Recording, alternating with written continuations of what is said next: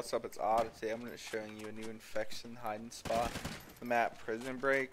The spot you want to come to is right here. I'll give you a few seconds to find it.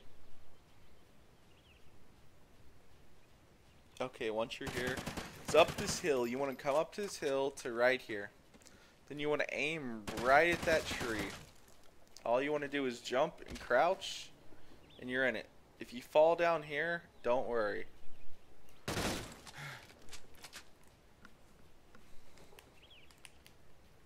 You can sometimes jump up there, but you can also get back out and go right back up there. I have used this on Infected. I think it's pretty cool. All you got to do, here's it again. Oops, I guess I missed, but like, comment, subscribe. At least you know what to do. Okay, I'm out.